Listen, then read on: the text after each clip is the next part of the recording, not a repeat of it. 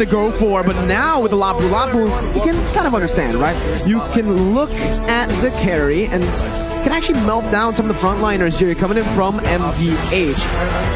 Hmm. Yeah, here's the thing, right? Looking at the composition again, I just want to say, MDH they can single target, uh, they, they can they can choose their targets. I think that is a big advantage for them. So it is going to be a test of skill. If they are able to find the correct targets, then they're in a good position to win themselves the fight. When we compare to the side of Malvinas Gaming, you don't have to be too harsh on who you're targeting. As long as you can clump them together, it's gonna be looking good for Malvinas Gaming. But looking at the draft, kind of a little bit towards MDH because I like this pick-off first style. We got to see though, right, Lafel America? I mean, the 10 heroes that is going to enter the Land of Dawn has been set. Uh, you like MDH better? I gotta agree, Self, let's just jump into the Land of Dawn. Let's dive in to the Land of Dawn once again for game number two.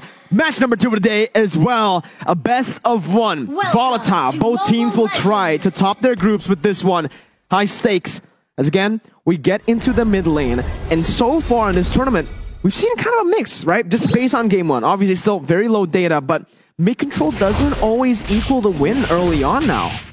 Yeah, right now Gunnar is establishing dominance in the jungle, forcing Prince uh, Fran use the retribution early and looking more into this composition. Dragon, he's he's gonna be way way tankier, especially with the vengeance. So looking at this, MDH they really have to focus on what they're gonna do in the mid stage of the game compared to Malvinas Gaming because I, I kind of feel like Malvinas Gaming, even though like they're early game centric, it's kind it's pretty good if they just want to want to, want to stall it out as well. Yeah, I mean they have to wait level four, right? Real world manipulation, Numenor Blast. They need level four to really impact the land of Dawn, and of course MDH. They do need time. In a sense, I mean, Joga on that Ling should be more proactive, but take a look here already. Aggressive maneuver on towards Steve.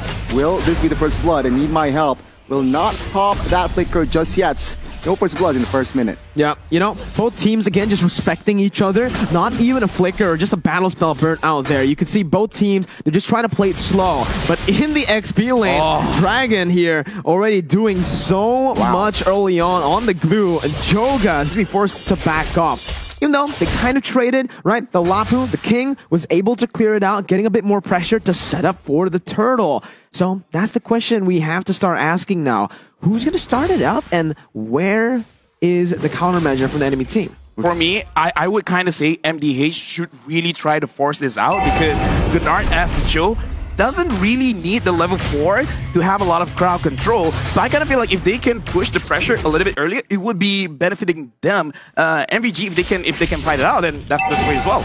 Yeah, good rotations already from the side of both Malvinas Gaming and MDH, but it is going to be Malvinas who starts the turtle up. The King already popping in that Bravest Fighter. No ultimate for the Spine as Nart tries to open up the map. Will be stunned up by Stephis. Nart looks for a play. Jumps in with the way the Dragon, bringing Harley back, and that's going to be Numenant Blast as well. That the wave popped into the back, but it's going to be the Numenant Blast connecting on the three members. It's still Joga who finds the Retribution. Goes on to Steffe. It's a two for one. Joga now still in the midst of it all. Dragon dealing so much with the split split. Nart knocking him up, getting out oh with the God, shove through as the King jumps jumps in. Prince Fran is low. Joga's low too. They're just going at it. And it is going to be MDH who wins it in the end. A slam slam oh. in the end as well oh. to smack Joga in the face to get a trade back. A good setup from Nart initially.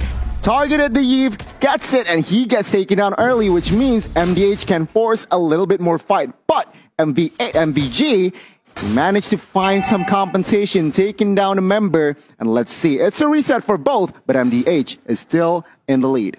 Yeah, like I like that both teams are playing towards their own advantages, right? Because MDH tried to secure the mid laner first, picking it off first is, is very good. But we definitely see the power when it comes to MVG just by having this Gloo. Like, oh yes. oh my god, like even the lane's like, please don't run away. I haven't been meta for so oh. long. Let's fight. Uh, dude, you can see the Gloo practically just carried that team oh, fight, yeah. right? He was 1v3 and he didn't even have the vengeance for the fight. So oh imagine God. with the vengeance how much of a threat the Gloo is. What do you do against this man? This is not your jungle, this is my jungle. God, this My name is Dragon. I'm the jungle for this one. Yeah, you can see four members have to come over towards the purple side as now Nart jumps in, dishing out some damage, bringing it back. Wow. Split, split, and he saves the vengeance. It's all good, man. Wow. If four people were there, ready to initiate, and even, even he's like, and a Faramis. Yeah, it's like, I'm gonna split. This Gloo, man, in this update is again a very prio hero. Let's see though, MVG, can they extract this hero? Because actually, MDH, it have they, their rotations aren't bad, right? No. Let's see. Mm -hmm. Second turtle, who will get it? We'll see, right? It is towards the bottom side, and as you can see right now, both teams are still trying to play around that mid control. But we're going to take a look at Joga right now, as he's actually able to dodge away from Prince Francis Taunt. Nart making a mistake there, going to be dodged away from. Need my help or even with the Shadow Stampede.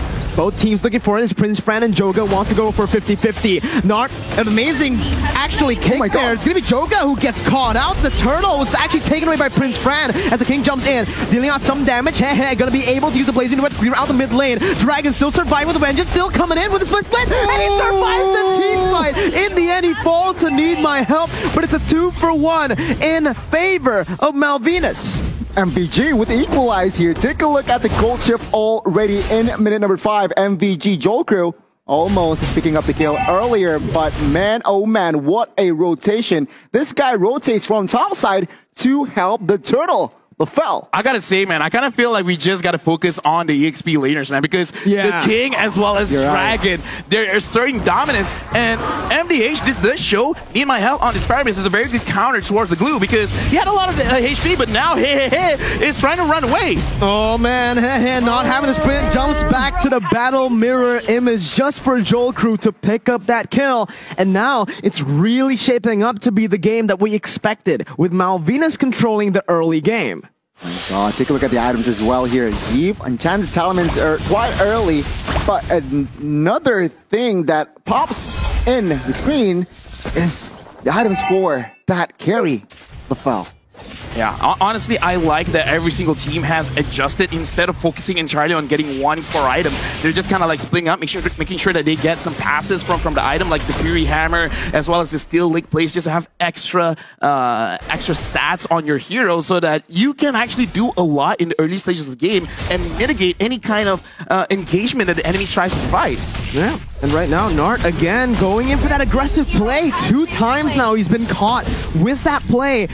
He wants to set it up. He wants to be the one to actually look for these proactive movements, but with the amount of mobility from Malvinas and with the stun as well provided by Steffe, he's not going to be able to do that at will. And now Malvinas, knowing that there's no roamer for MDH, they're completely controlling that top side, and they're taking the turtle right now, uncontested for free. What I love about Malvinas Gaming here is their execution is just so in sync, and they do not forget about neutral objectives like turrets and of course this turtle. They manage to fi find the third turtle. Let's see, MDH, they need some compensation here. Yeah, Goldie's building. No, honestly, like I'm, I'm looking at this game and I'm seeing what are they waiting for because Malvinas Gaming. Look at this, the damage is so strong, mm. and it looks like they're gonna engage oh my God. the jungler. Joga's gonna be caught there, but the moon on blast, and the real world manipulation basically zones everyone away from trying to follow that play up. MDH losing Joga on a Ling now that's behind of that Fredrin. The King using the Bravest Fighter just to clear out the waves. He's going to be punished here by a dive, and it's going to be the King who gets picked off, who jumps in looking for some more insane. He gets up. Stefan looking for a stun, jumps in, flickers as well under the turret just to back smack him up. Harley surviving with one, one, buddy, one. My goodness, MVG, they are stepping on the gas here. The King needs to fall in the bot side, but take a look at this. MVG, they are looking to grab more space here, taking the tier 1 bot side, and seems like they will not get it. Still, MDH manages to defend that turret. Right now, MVG, they're just solidifying every single lane for themselves because MDH, it looks like they're, they're, they're kind of getting picked off one by one because Gennard tries to get information, but because the carry is there, you're going to get popped so fast. And I kind of feel like this is creating such a big problem for the side of MDH because the Gloo is more tankier than the roamer. And when it comes to uh, JoelCrew on this carry, he really doesn't care who's in front of him. So right now, MVG, they're getting their win condition. The king goes in, but he didn't catch anyone. Nart going to be able to find a way the dragon onto Stefan. That's just the roamers. That's going to be the back line targeted by Prince Fan. Oh, they're now, real roam ablation on top of the Faramis ult as that's going to be the blazing duet popped in as well. Harley caught low. Joel Crew still free hitting with a full HP bar, he's still actually going to be able to push MDH back, but it's MDH who finds the pick.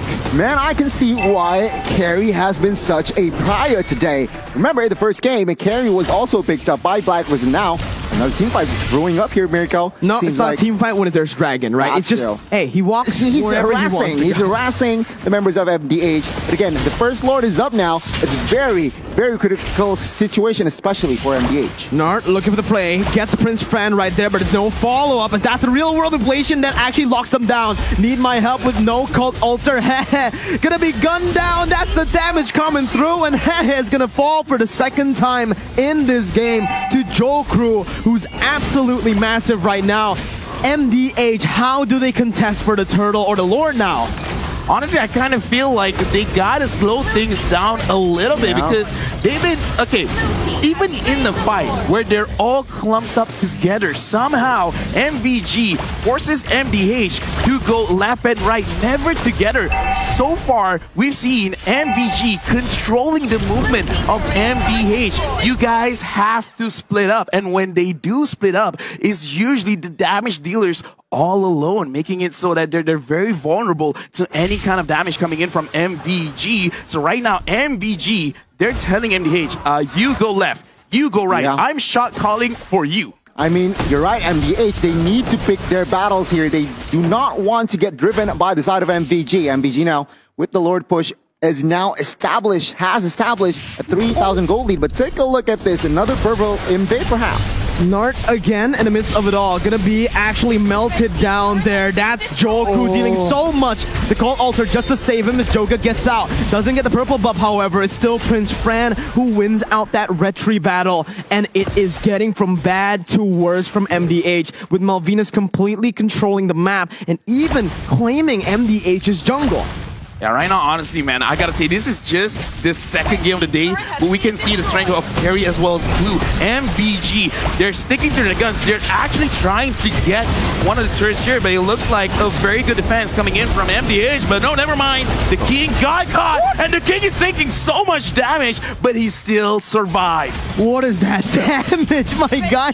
Oh my goodness, Joel Crew is an absolute monster on the carry right now. You can see here MDH already executing the split push potential that they have because take a look at the items, take a look at the gold wow. here. Carry 8,000 no gold. golden staff yet. No golden staff no yet. Golden staff exactly. yet. So this is crazy. Explain. I, okay, here's the thing, right?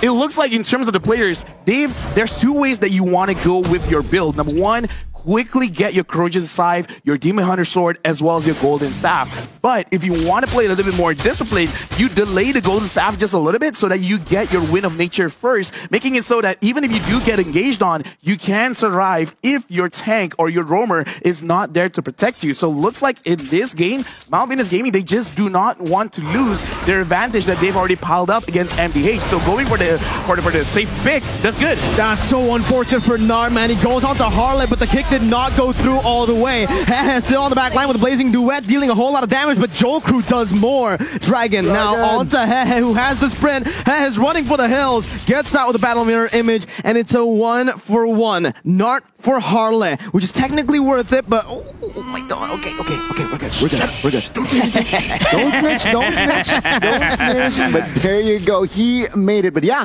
back to your point here, LaFell, a very intelligent item from the side of Jokru. He doesn't want to, he knows he is dominant. Uh, he's he dominating damage. Game, but he has enough damage, so let's be more respectful. But now, the Lord is up. This is Enhanced Lord, so MDH, they need to figure something out.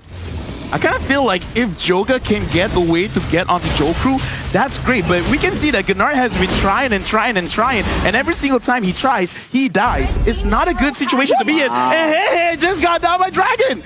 Oh, what did you do, Dragon?